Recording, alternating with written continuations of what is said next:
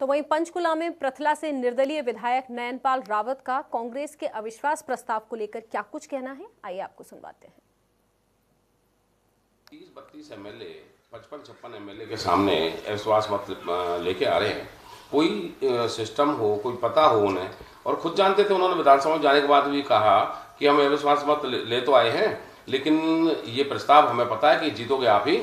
जब ये पता है कि जीतेगी सरकार ही तो इस चीज़ को लाने के लिए, ये ढोंग करने की शायद मुझे लगता है कोई ज़रूरत नहीं थी। माननीय मुख्यमंत्री मनोहर लाल जी के साथ पूरा मैंडेट है और पूरा पाँच साल माननीय मुख्यमंत्री प्रदेश की सेवा करेंगे। देखिए, ये केवल चर्चा के लिए चर्चा कर रहे थे।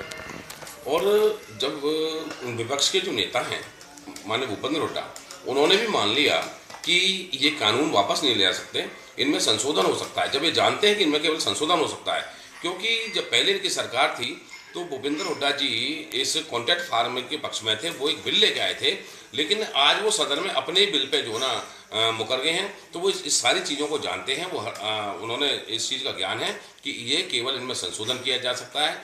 ये बिल सरकार सरकार के साथ साथ किसानों के पक्ष में है इसलिए इनको सरकार लेके आई है। किसानों की अच्छे के लिए किसानों की भलाई के लिए किसानों की उन्नति के लिए किसानों की तरक्की के लिए कि किस प्रकार से किसान की आय को बढ़ाया जाए उसके लिए केवल बिल लाए गए हैं।